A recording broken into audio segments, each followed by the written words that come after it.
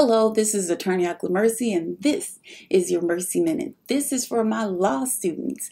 Um, so this may sound familiar. You are killing it in class. You are quoting Scalia, you are quoting Stevens. The law professor is looking at you intuitively. You are the pearl of your study group. You have highlighted and underlined your book to high heaven.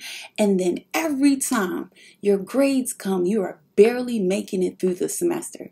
If this sounds familiar, please come see me this Friday at Upgrading Your Legal Skills and Not Lose Your Mind. All right?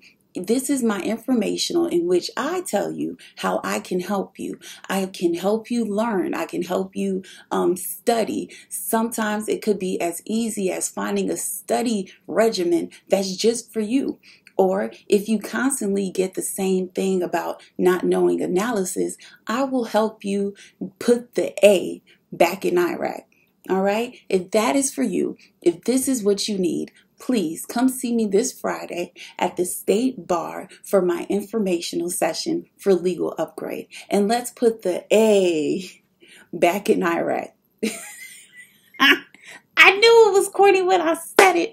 I knew it was corny. Mm just come see me. Let's talk about let's talk about your your your, your classes. Let's go over some things. Let's find a regimen for you so you can be the attorney that you want to be. All right? Come see me. That's your Mercy Minute. Bye.